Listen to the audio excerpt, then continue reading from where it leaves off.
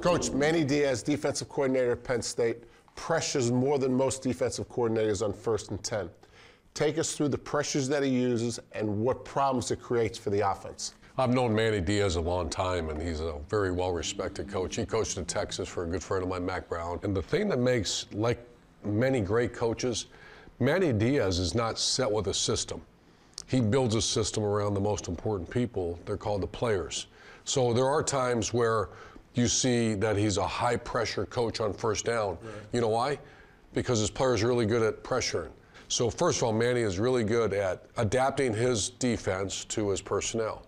Now, when you start talking about pressures on first down, which they do a high percentage compared to other teams, a pressure for the viewer again is a, some type of blitz, a linebacker, a safety, a corner, whatever it may be.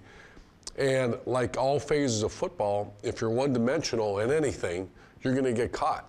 The thing that makes his blitzes so effective is that they're very diverse. He can come from the field, right. he can come from the boundary, and he comes from the internal. And when you do the percentage breakdown, it's pretty even.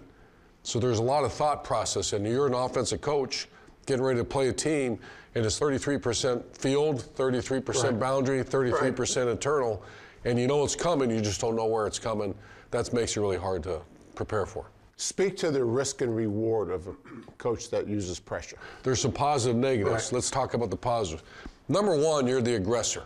You're dictating the offense. You want your team to be play with energy. They love the blitz. You keep the offense on their heels a little bit. Also, negative yardage plays. If you hit a blitz or a pressure, and you get second and 12, that's very hard on offense. You're you're rolling now on defense. Now there's some negatives. What's the negatives? If they pick up the blitz, you expose yourself.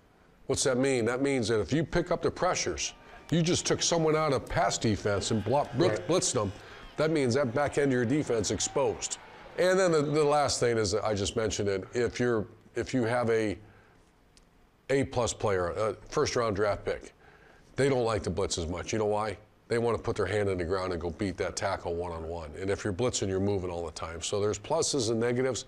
Well, he certainly has adapted well with the Penn State people. Let's take a look at some of what Coach Diaz does. All right, here, take a look at Penn State's defense here, and, and uh, I want to really take a second here. When you look at this picture, put yourself in the shoes of this quarterback. Right. He has to be, he's in charge of the other 10 players. And what he's going to do is try to read the defense. You can't tell where the pressure's coming from. Right. There's he no knows indication. that Penn State blitz on, but there's the, the field pressure, which means he's going to come from the field. There's a boundary pressure, it means him or him can come from the boundary. Or there's the internal where both linebackers come through the inside. And obviously there's risk reward, but there's also, as an offensive coach, some plays aren't worth a darn in the boundary pressure, field pressure, internal. So here, we'll let the viewer kind of guess here for a second, okay? Because I'm guessing too, but I, I know because I cheated. All right, here it comes. So this is called a field pressure. Right. And that's a Sam linebacker coming from the field. It's field because the ball's on the hash and it's coming from the wide side. All right, coach, that was field pressure. Next one is boundary pressure. All right, let's take a look here. Once again, let's go out. I cheated there. So let's go right here.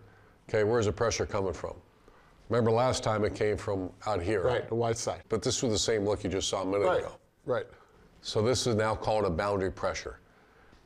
And it is an issue for the uh, the fact that you have a guy coming off the edge, but it's also a fact because the defense line's moving. As a result, they don't block the will linebacker here. But this is now a boundary pressure, once again, coming from the short side or the boundary side of the field. You saw the field pressure, boundary pressure. So, coach, this is the third play that we've watched.